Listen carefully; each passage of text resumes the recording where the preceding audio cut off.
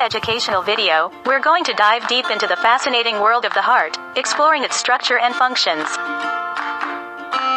Did you know that your heart is an incredible organ that beats around 100,000 times a day? That's right.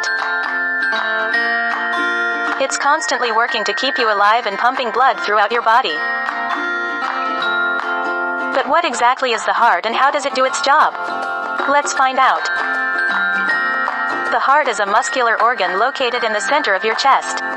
It's roughly the size of your fist and is protected by your ribcage. But don't let its small size fool you. The heart's main job is to pump oxygen rich blood to all the different parts of your body, delivering vital nutrients and removing waste products. Now, let's take a closer look at the structure of the heart.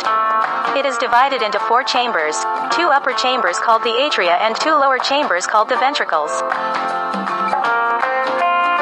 These chambers are separated by valves, which ensure that blood flows in the right direction.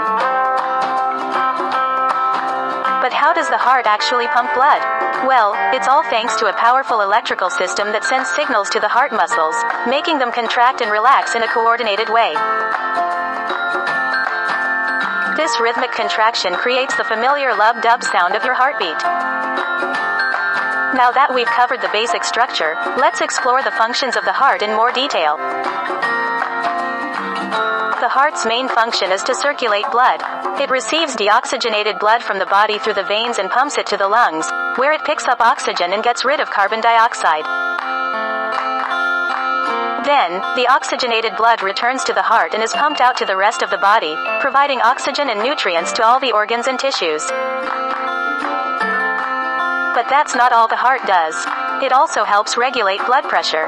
By pumping blood with enough force, it ensures that blood reaches all parts of the body, maintaining a constant flow.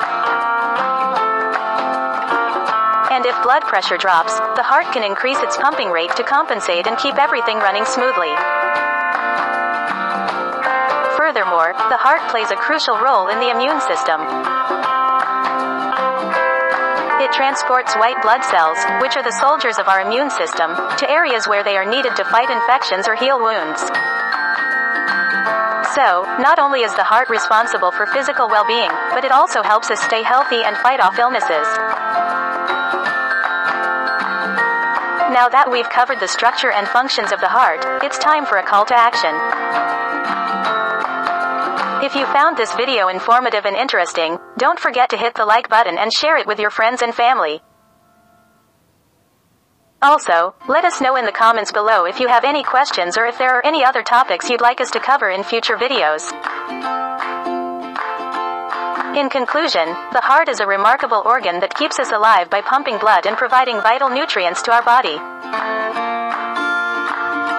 Its structure and functions are nothing short of fascinating. So next time you feel your heart beating, take a moment to appreciate the incredible work it does.